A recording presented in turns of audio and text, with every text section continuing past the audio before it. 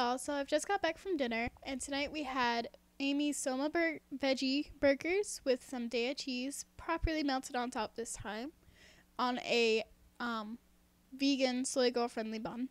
And on the side, we had black bean and corn salad. I'll have the recipe for that on my blog, which will be linked in the description box.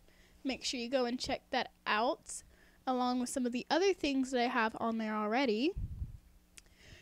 And we'll do a recap of today currently for a moment. So I woke up kind of late, so I didn't have breakfast this morning, which is a no no, but that's okay. So for lunch, I had a Sonoma Amy's Veggie Burger. Bur- burger.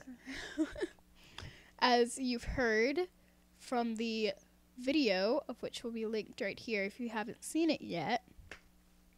And um, then for snack, I had half a cup of the Earth Balance puffs, cheese puffs, which I made a review. They're in the review products right here. That's a weird arm movement. Okay, there's that link. And um then I dinner, of which you just heard about, and I'm preparing to make the almond yogurt parfaits that I talked about earlier in that same review link. So make sure you go and check that out. We nice and a good way to end the night of day two of my free vegan 30 day challenge.